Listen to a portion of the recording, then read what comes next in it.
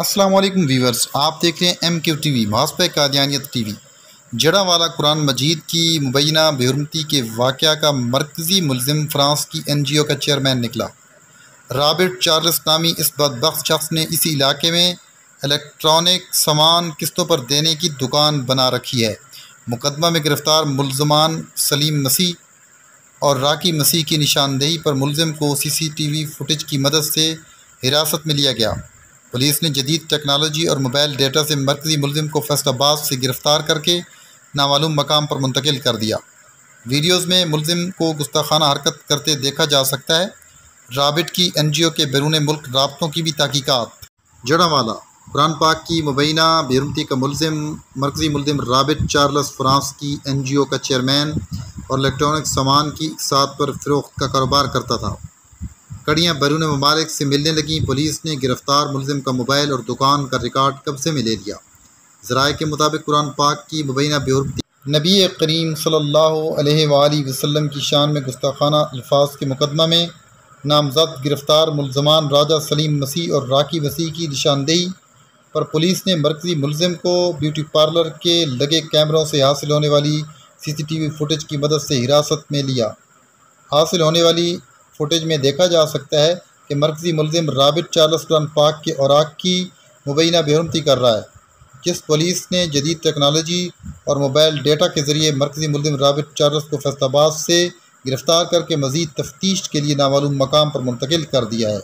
यह भी मालूम हुआ है कि कुरान पाक की मुबैना बेहरमती का मरकज़ी मुलजिम राबिट चार्लस फ्रांस की एन जी ओ का जड़ा वाला में चेयरमैन है।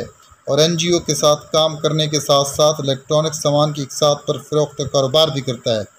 पुलिस ने गिरफ़्तार मरकजी मुलजिम रॉबिट चार्लस का मोबाइल फ़ोन दुकान से मिलने वाले रजिस्टर और तमाम रिकॉर्ड कब्ज़े में ले लिया है। ज़राए के मुताबिक पुलिस तोन मज़हब के मुकदमा में गिरफ़्तार राजा सलीम मसीह की जानब से फेंके गए नादेब अल्फाज के कागज़ की तहरीर और ऊपर लगी तस्वीर की अली सतह इंक्वायरी भी कर रही है। किस फ़ोटो स्टूडियो से तस्वीर प्रिंट कराई गई है? और नदेब अल्फाज की तरीर किसने लिखी है? और ये साजिश कहाँ और किस के कहने पर रचाई गई है? ये भी मालूम है कि तोहन तोहन आमेद अल्फाज वाले कागज़ पर तहरीर शुदा लिखाई की छानबीन के लिए मरकज़ी मुलम राबित चार्लस की दुकान से, मिलने वाले रजिस्टर से भी मवाजना किया जा रहा है।